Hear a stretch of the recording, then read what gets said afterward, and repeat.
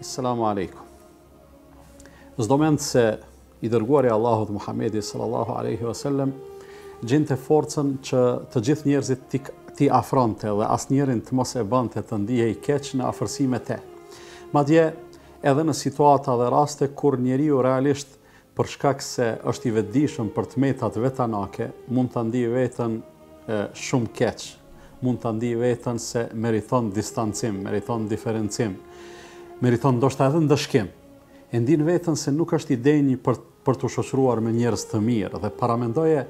një njeri nga koha e të dërguarit sallallahu alaihi wasallam si do ta ndinte veten sikur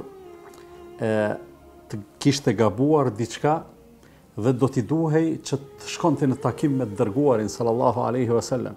me njeriun më të mirë që ka shkelë mbi fytyrën e tokës, me njeriun më të mirë që ka ecë nëpër tokë, me njeriun më të mirë që e ka krijuar Allahu Fuqiplot. Kam përshtypjen se çdo njeri prej neve, sado që do të mund të konsideronte për veten e vet se është njeri i mirë, prapëseprapë do të kompleksohej nga ndjesia se cili është ai personi me të cilin ti dëshiron të të takohesh, sa i mirë, sa i pastërt, sa i ndershëm, sa i sinqertë është ai. Dhe sigurisht që një ndjesi e këtillë nuk është e panatyrshme, në te nuk ka asgjë të keqe, mirëpo, a i lejonte i dërguari sallallahu alejhi ve sellem që njerëzit të kompleksoheshin në afërsinë e tij deri në këtë masë, Sigurisht që jo. Për arsye të thjeshtë. Për arsye se Ai ishte i dërguar që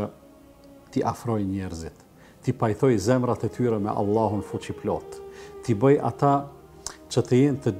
gjithmonë të afërt me Allahun dhe në asnjë mënyrë të mos lejojë që tek kushdo prej njerëzve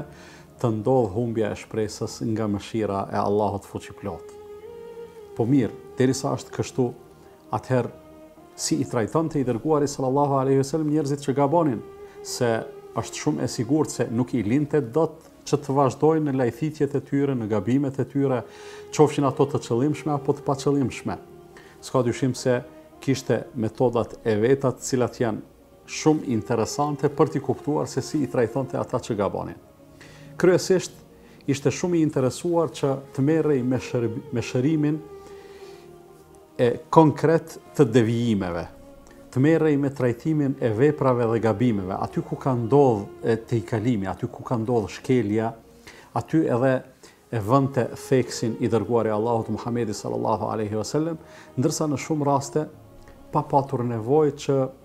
që ta identifikojë se cili është kryerësi i veprës. Dhe për këtë arsye shpesh herë hasim në kontaktet e tij të përgjithshme kolektive me njerëz kur paraqitej nevoja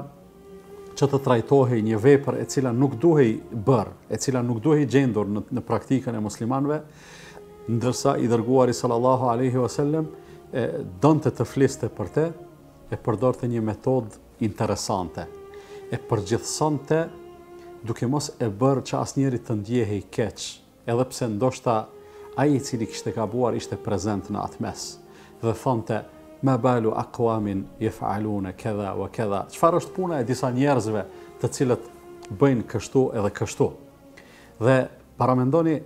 Ai që ka gabuar ndoshta ishte prezent ndërsa i dërguari sallallahu alaihi wasallam fliste në veten e tretë. Fliste sikur i kishte për qëllim disa njerëz të cilët nuk janë prezent thjesht për të mos e bërë asnjërin që të ndjehet keq, njëkohësisht duke komunikuar me ndërgjegjen e secilit sikur ndoshta ndonjëri prej neve do të thoshte vetmevete po të ishte në atë ndejë, në atë takim. I dërguari e pat qëllimin për dikë tjetër, mirëpo derisa edhe unë jam njëri prej atyre që e bëjnë këtë vepër atëherë do të heq dorë prej saj. Ndërsa me këtë, i dërguari i Allahut, Muhamedi sallallahu alaihi wasallam, na e mësoi një mësim shumë interesant, nëse dëshirojmë përmirësimin e sjelljeve, veprave, punëve, qëndrimeve të tjerëve,